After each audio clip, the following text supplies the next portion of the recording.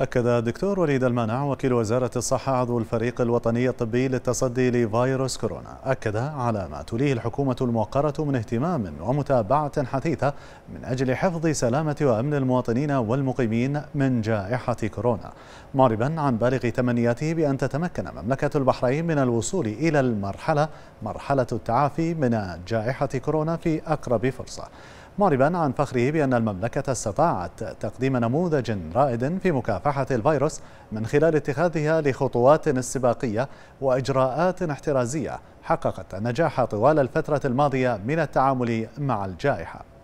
وأشار المانع إلى أنه يجب على المجتمع البحريني استثمار فرصة حلول شهر رمضان بتغيير أنماط السلوكيات الاجتماعية بما يسهم في الحد من انتشار الفيروس.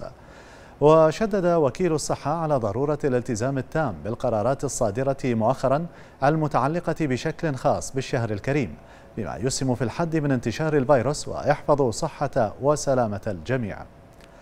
وحث المانع الجميع على مواصلة الجهود خلال شهر رمضان للحد من انتشار فيروس كورونا والاستمرار في تطبيق كافة الإجراءات الاحترازية والتدابير الوقائية وتكثيفها بما يسهم في حفظ صحة وسلامة الجميع.